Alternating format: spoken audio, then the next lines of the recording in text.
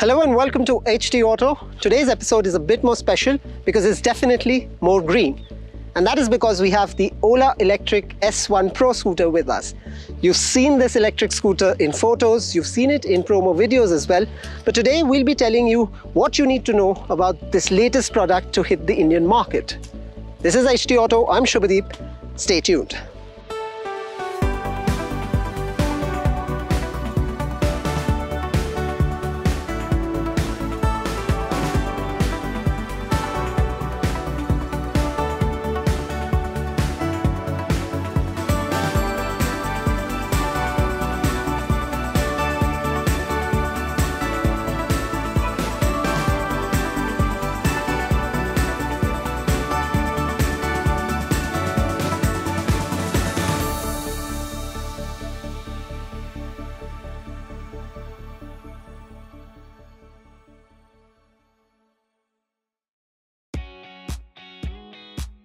Ola S1 has a compact dimension, a more rounded design style, and a very Disney WALL-E-like LED headlight unit.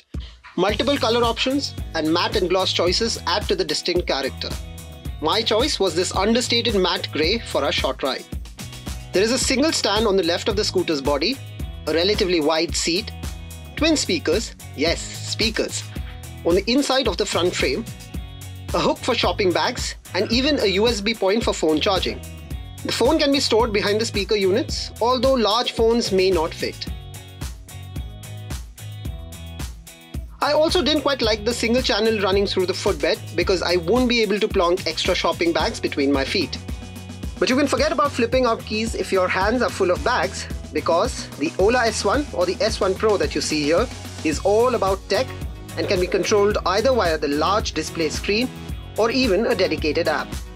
Even the boot has no latch and needs screen taps and flicks to open or lock shut. This is easily one of the biggest storage spaces in two-wheeler space and can fit two conventional helmets or a helmet and this Ola home wall charging set easily. The charging point can be plugged into any wall unit for a top-up. But the central attraction though is the screen right here. Large, bright, vivid and responsive to touch, well almost anyway. This is the headquarter for everything Ola S1 offers. We tried the Bluetooth connection for audio, the navigation, and tinkered with the settings. The Android-based OS was a breeze to use. Remember, you will even get custom modes via OTA updates for varying display and sound choices, but this at a later stage. But this here is, after all, a scooter, best experienced on the move, so it was soon time to ride out. The S1 Pro is the upper variant and I had this particular unit and it was super duper silent, even by EV standards. It also has a reassuring weight and in normal mode managed to get a move along quite well. Want some more fun? The sport mode is terrific. The hyper mode is terrifying. Terrifyingly good. Turn the throttle and the instant rush is just brilliant. I managed to hit 90 kmph in no time at all and was quite impressed with the steady character of this scooter. The single fork front and mono suspension at rear seemed par for the course but will require more testing.